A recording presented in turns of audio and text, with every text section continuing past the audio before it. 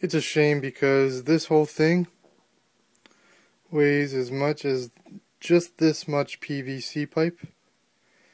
But I'm going to have to change my frame because it's too flimsy and too much vibration.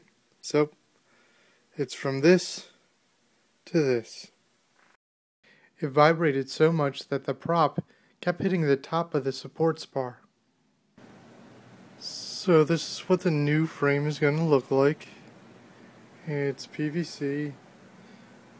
For things, I made it a little bit longer so I have a bit of a bumper. So I put the motor here, and if it falls on its side, it won't ruin the props. Um, using the same Lexan mounting. It's pretty sturdy with four. I might reinforce it a little bit. Um, that's about it. Just have to mount the motors and give it a try.